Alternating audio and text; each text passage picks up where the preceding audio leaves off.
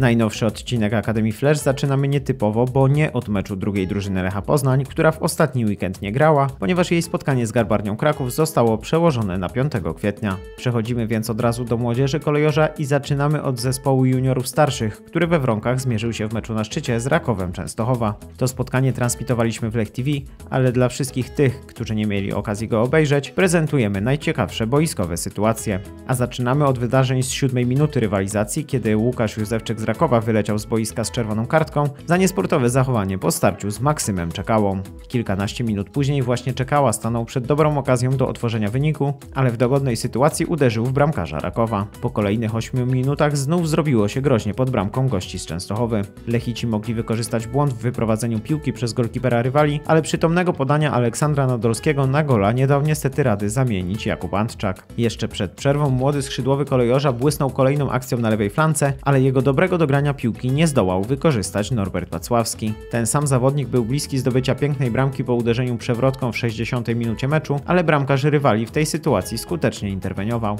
10 minut później Lech w końcu wyszedł już na prowadzenie. Maksym Pietrzak dośrodkował piłkę w pole karne z lewego skrzydła, tam głową zgrał ją czekała, a wszystko uderzeniem z bliska wykończył Nadolski. Strzelec gola wystąpił za to w roli asystenta w 90 minucie, kiedy perfekcyjnym podaniem z powietrza obsłużył Pietrzaka, a ten pewnym strzałem ustalił wynik spotkania na 2 do 0. To zwycięstwo oznacza, że zespół prowadzony przez trenera Bartosza Bochińskiego awansował na drugie miejsce w tabeli Centralnej Ligi Juniorów. Prawdziwą kanonadę strzelecką na początku swojego spotkania urządzili sobie za to juniorzy młodsi kolejorza, którzy w ciągu 180 sekund wbili Arce Gdynia aż 3 gole. Dwa z tych trafień dla niebiesko-białych zaliczył Bartosz Zaranek, a trzecie było autorstwa Mateusza Zdziarskiego. Gości z Gdyni było stać na odpowiedź w postaci tylko jednego gola, którego strzelili na dwie minuty przed końcowym gwizdkiem. Po tym zwycięstwie młodzi Lechici plasują się na czwartym miejscu w tabeli grupy zachodniej Centralnej Ligi Juniorów do lat 17.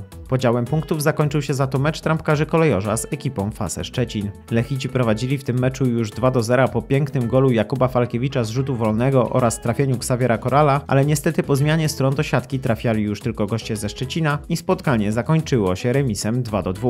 W ramach tej części sezonu Lechitów czeka jeszcze 10 spotkań w rozgrywkach grupy B Centralnej Ligi Juniorów do lat 15. I to już wszystko w tym odcinku Akademii Flash. Na kolejny zapraszamy wkrótce. Do zobaczenia.